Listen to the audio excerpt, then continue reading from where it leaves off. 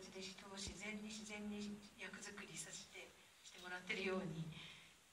見えます私から現場の雰囲気も何かこう柔らかい感じだったそうですねそうですねあの本当に監督があんまりあの大きな声を出すのが嫌いな方で聞くのも嫌な方なのでみんななんとなくそんな「おい!」とかそういう感じではなくなるべく気を使っていたとこもありますしでも自然と是枝組が始まるとみんななんかこう同じ方向に向かって和やかな雰囲気で作っていたと思います。もともとあった台本のセリフが結構変化するというお話を聞いたことあるんですけれどもアドリブなども多いんですか？そうですね。あの脚本にセリフは書いてあるんですがあの思わず役者さんの中でポロッと出た一言はテストとかで出た一言は本番入る前にさっきのそのまま言ってくださいとおっしゃったりあの脚本通りの言い回しではなくてもその人の言いやすいように変えていっていいっていうふうによく言ってるのを見たことがあります。現場のそのね指示によってまたセリフが生き生きと変化をしてそうですね。日本の映画に変わっていくわけですね。はい。万引き家族を演じた個性的なキャストの皆さん勢ぞろいしていましたけれどもキャストの皆さんとの交流などありました？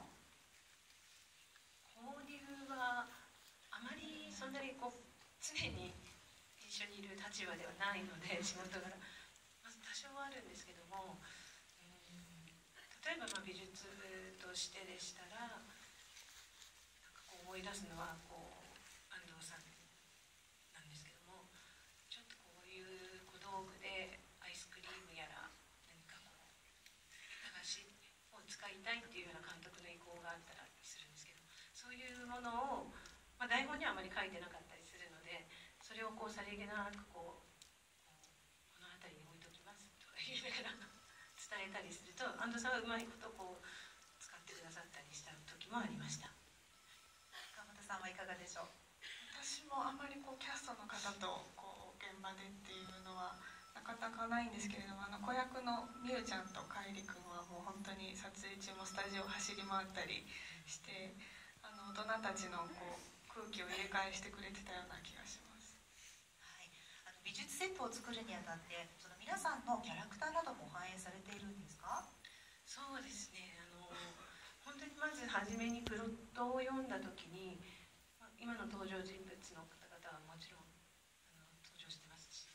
そこをあの掘り下げてじゃあ本当にこのおばあさんが住んでいた